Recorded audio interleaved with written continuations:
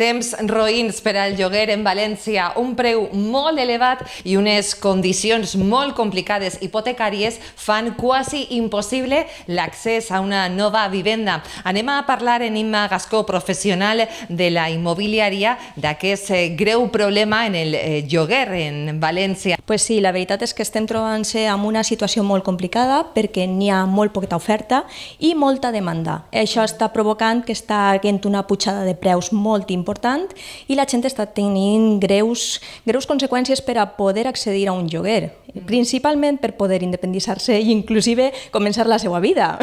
Exacte, estem veient que realment la gent que principalment no podia accedir a un préstec, un préstec hipotecari, doncs clar, dia, jo llogue durant uns anys, faig diguem una xicoteta cartera per poder tindre uns estalvis i poder accedir a aquests preus hipotecaris.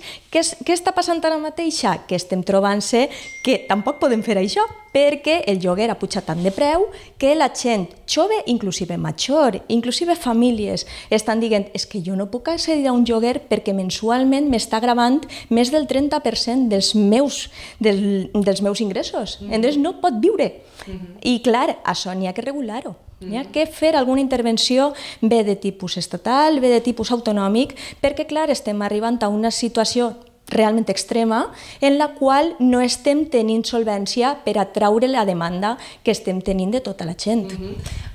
Ah, sí, parlaven en la prèvia de la situació de les vivendes de protecció oficial, que estaven pràcticament ja desaparegudes, però que era una opció molt bona, no?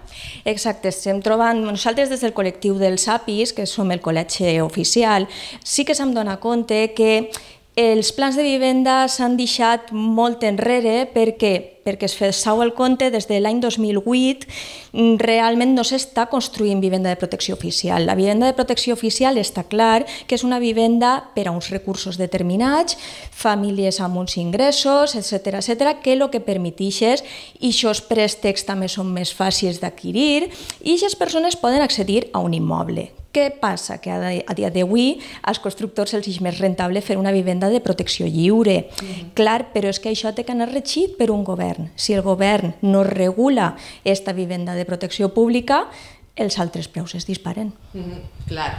Parlaven, eh, fa uns anys es va posar molt de moda no? això de el lloguer en opció a compra, que ara també està pràcticament desaparegut, no? perquè no, tampoc es pot.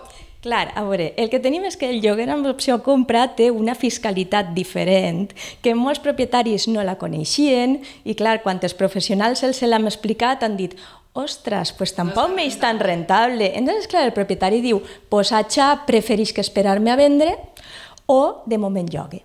Uh -huh. perquè clar, estic traguent més rentabilitat que el que després en el meu IRPF me van a gravar tots els anys. Uh -huh. I si després l'inquilino diu no continue perquè no puc comprar, perquè no me donen el préstec, es queda igual.